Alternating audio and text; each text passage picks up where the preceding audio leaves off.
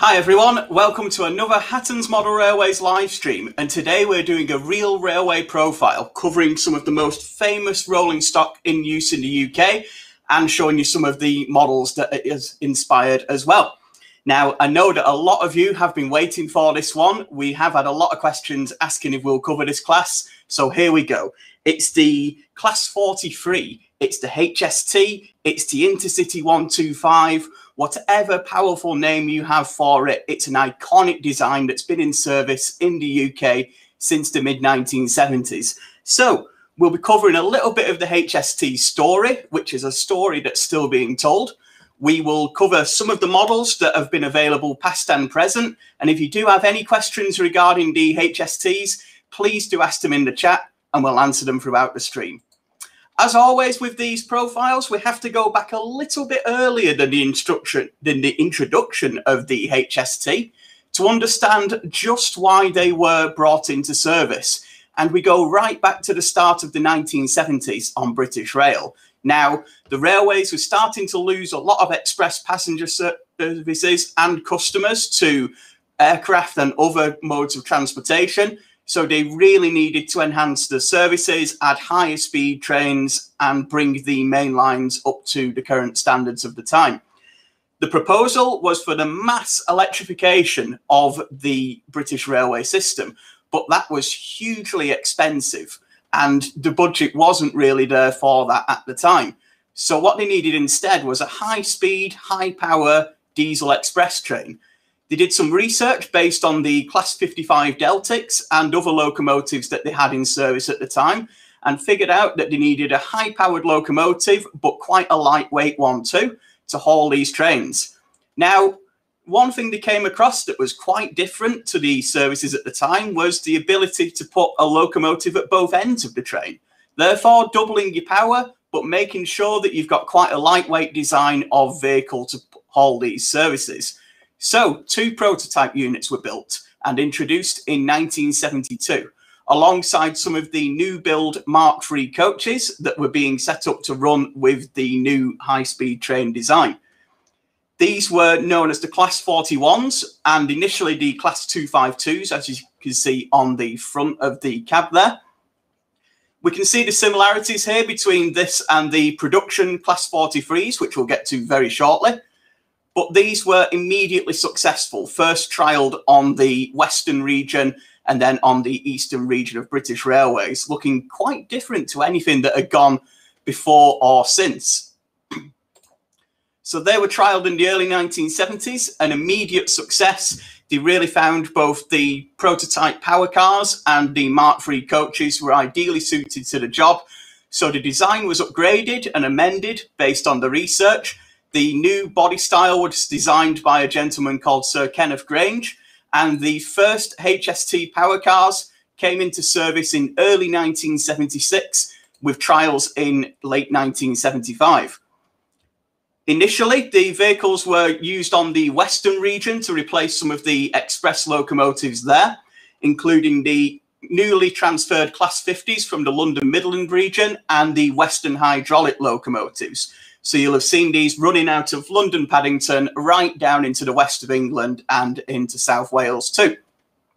And they really did cause a stir at the time. They were then introduced on the eastern region. We see here one of the power cars at Harrogate. And in that 1970s era, you still had a lot of the steam railway infrastructure still in place. You can see some of the older style rail signals and lighting fixtures there.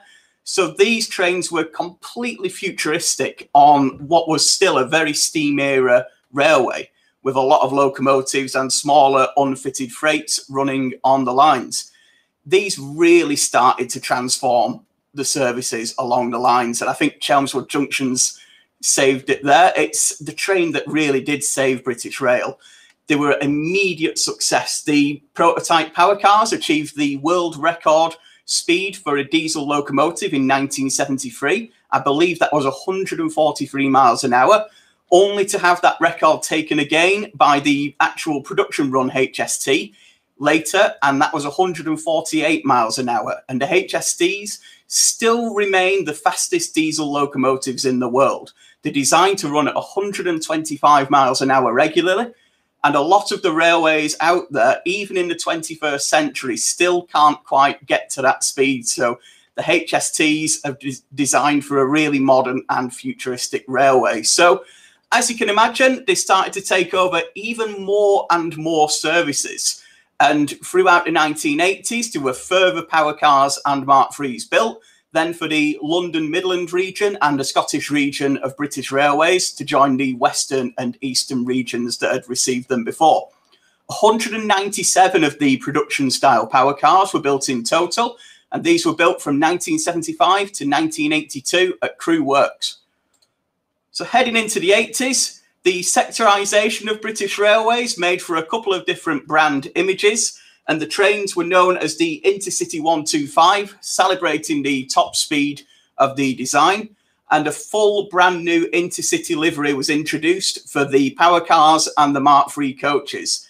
You can see here the black alternating with the red stripe of the livery that you can see.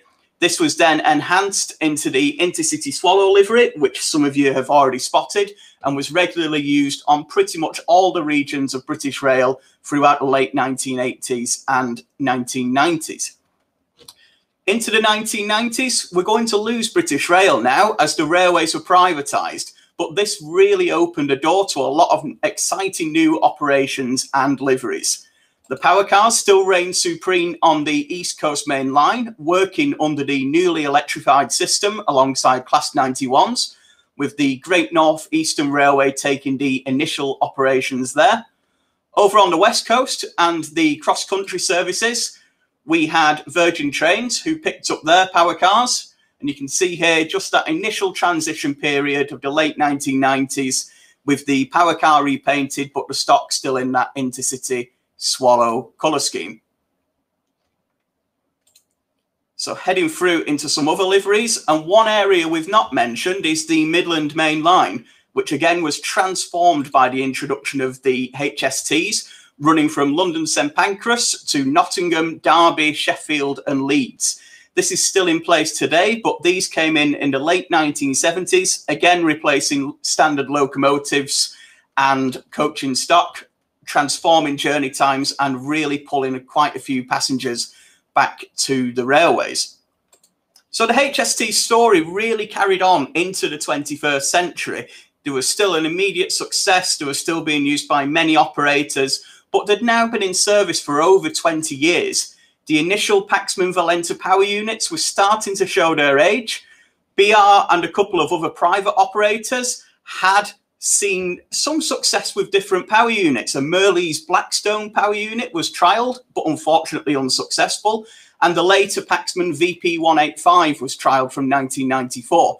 Some of those are still in operation, so they were a success, but they did move away from the Paxman designs. Indeed, a lot of the units were re engined with MTU, let me just get the name right there, MTU 16V 4000 units on the power units, and they were put in from 2005 onwards, initially for First Great Western, and then pretty much every other HST operator at the time did install these power units. I believe the last Paxman Valenta was in service until 2010 with Grand Central trains, and the iconic screaming noise that you did get from those locomotives is now only available in preservation. But the MTUs really did keep them there kept them in service and offered a huge life extension program. And we did see them come through and carry on with other operators. We see here Cross Country, who, after withdrawing their HSTs in the early 2000s and concentrating on the Voyager trains, did get a fleet of the re engined HSTs back into service with fully refurbished coaches, and they can still be seen today. And I thought I'd just give you a selection here of some of the very different liveries that have been carried recently by the HST. I believe this is a couple of years ago now, but from right to left, you've got the East Midlands Trains colour scheme as seen on the Midland Main Line. You've got the Virgin Trains East Coast livery. You've got the Network Rail HST in the middle, which is used for high-speed track recording and maintenance. Left of that, you've got the Grand Central colour scheme, which is now replaced by multiple units, but the HSTs were in use with them at the time. And on the left is a First Great Western unit honouring the fallen soldiers of the First World War. And a lot of the First Great Western units that had been there since the late 1970s really began to receive these individual colour schemes towards the late 2000s. The story carries on even more and heading right through to 2020, there's still quite a lot of HST sets in operation with different users. ScotRail has introduced sets running from Glasgow, Edinburgh, and destinations further north, such as Inverness and Aberdeen. The Great Western region has retained some of their HST sets. These are now in shorter formations, working in the west of England. But it's absolutely fantastic that after 44 years, these trains are still in operation in one of the first areas they were introduced, showing the incredible success of the HST over this time. A small number of them are now in operation with private operators too. And indeed, the first production power car, number 43002, has been returned to its original blue and grey livery and is rightfully now at home in the National Railway Museum, showing just how much of an impact the HST did have on the UK railway scene. As one of you mentioned before, it really was the train that saved British Railways. And a little known side note as well a number of them were built for the Australian market and advertised as the XPT services. The power cars being paired with Australian built coaches, and I believe there's still a couple of those in operation today. But if you know for certain, I'm sure you can put this in the chat and we'll keep an eye out for those Australian versions too. So that gives you a bit of a summary of the history of the HST. Let's have a bit of a look at the models. And with the introduction of the real life vehicles, both Hornby and Lima provided models in the late 1970s and the early 1980s, initially coming through in that distinct blue and grey colour scheme with the Intercity 125 branding. Both of those can still be found in our pre owned department from time to time and are a great way to get a budget HST onto your double gauge layout. In more modern times, there are more detailed models that have come through, and these are some of the models that we have available today. So Hornby's Super Detail HST has been around for about 10 years now, but it's still a really high quality model. They've tooled for a lot of different variations in the separate exhausts for the different power units, different variations such as the headlights on the front, which have changed throughout the 40 plus year career of the HST. I've got here the Intercity Swallow livery from the 1990s and another very recent release, the gloss green of the Great Western Railway from the early 2010s and onwards. Looking at N-Gauge, Graham Farish did release a model for quite a few years, which has now been superseded by the fully detailed Dapol model, which is fully digital ready and available in quite a few liveries, both now and coming through as well.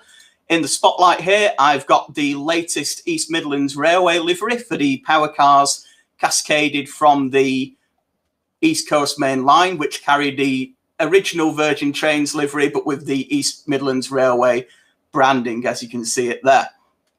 So there really is a lot of models that are out there, whether you're a modeler right from the first days of the HST in the blue-grey livery up to the contemporary liveries. This is a full new 2020 release of a 2020 livery. So you can tell the full story of the HST through the models that are available. As ever, click that link in the description. I've put a link down there to show you all the HSTs we have right now and all the models that are coming through in the future too. There's network rail liveried variations available in double O and N-Gauge to take a look at alongside a lot of different liveries. And as I can tell through the chat here, the HST really did start to get its fans, especially over the last few years. The services that they have been withdrawn from have completely seen all over by enthusiasts. LNER and other operators painted some of the vehicles into their original liveries to commemorate the lives. And there are a lot of the colour schemes still out there. I believe there's a company called LSL who are painting theirs into the popular Intercity Swallow livery to work on private charter trains. So the story of the HST really is still going. After 44 years as it's got to be the most successful British diesel locomotive design. It just still going. It's going to make 50 years and certainly a lot more on the side. And Chelmswood there already mentioning the 40 years and saying he's been a fan right through. And you can just imagine sitting there in the 1970s on your still quite old fashioned railway and seeing this sleek, modern, completely different to anything you've seen before train, powering past you at over 100 miles an hour. It would have been like nothing else you'd seen before. And that just shows how it really captured the hearts of both the enthusiasts at the time and the enthusiasts today, but also a lot of the passengers who really came back to the railways with the new levels of comfort and speed that the HST offered. Now, I thought I'd finish with something a little bit different than usual because we always take a really good close look at the models. We always see some absolutely fantastic archive images that we put on the stream for you too. But we never really get to compare the size difference between the models and the real life vehicles. So one of our staff members actually has a part of a HST that he brought in and let me put on the stream for you today. And just to show you the size difference, this is the piston and valve out of a Paxman Valenta power unit. So each power unit in the HST had quite a few of these in to make the HST move and you'll see the size difference there. The power unit is about that large on the scale HST, but this is just one head from that power unit. So a little bit bigger, and it really does give you that sense of scale between the two different sizes there. But whether you are looking for a model or you want a little bit more history about the real life HSTs themselves that I have got a little, very little part of here, do check out that link in the description for more information. I've put some images on there too, and we'll flick again through those towards the end of the stream. There's more information on the models that are available right now in all the different liveries, all the different tech specs in there. The digital specs, the lighting specs are in there if you really want a model of one of these units. And if you are a modeler of the UK railway scene from the 1970s right up to the current day, a HST really does have a place on your layout. You've got to honour the absolute change that this made to Britain's railway system at the time. Initially being used on the western region, they were seen as far north as Inverness, as far south as Penzance, and at pretty much all the places in between too. So do have a look at what we've got. Kevin, if you have a look at the link in the description, you will see what we've got in stock right now and forthcoming releases in there too. All that information is on that link. So I hope you've enjoyed today's stream. I hope you've enjoyed learning a little bit more about the HST. As we mentioned, the story is still going with many of the power cars still in service with many different operators, some still in preservation at places like the National Railway Museum. And indeed, the story is still exciting and there's a lot more to come. So I can't wait to be telling the story of the HST on its 50th anniversary in in 2025, shall we say, if a couple of years to go before that, but I'm sure the story will be just as exciting as this. Otherwise, I'll give you one last look through some of those pictures. I hope you've enjoyed today's stream, and I'll see you again soon. Take care.